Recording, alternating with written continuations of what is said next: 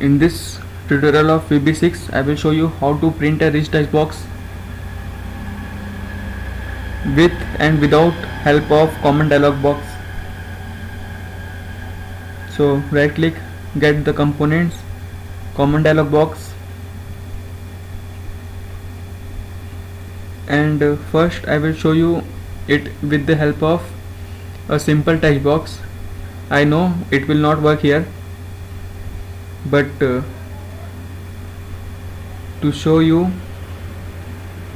I will do it. Drag a text box.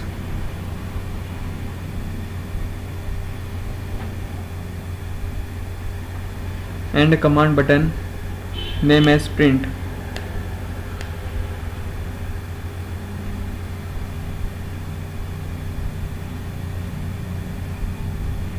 now the coding comes. I will use cd1 the name of my command dialog box dot show printer and text1 dot print. As you can see here is no printing property related to a text box. So so I have to include a rich text box here. So just go to form layout delete the text box get rich text box component here include it to your library. Here it is. Just include it and drag it to your form. Uh, it has a large name so I will shorten it to RTB1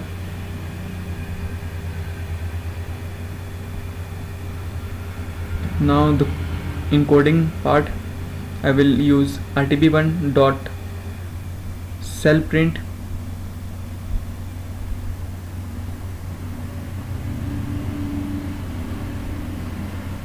And equal to printer dot hdc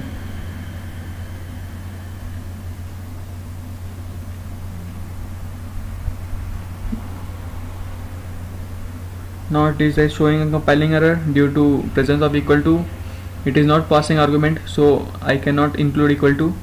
It is working perfectly fine here. So I will show you printing this text box to Microsoft OneNote. As you can see it is printed here text box 1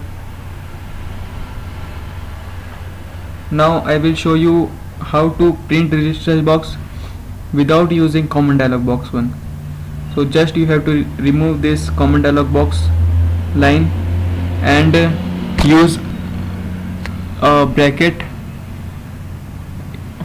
with printer.hdc now I will show you the command dialog box is not appeared and it directly printed to OneNote. It, the code is working perfectly fine. Thank you for watching my tutorial. Goodbye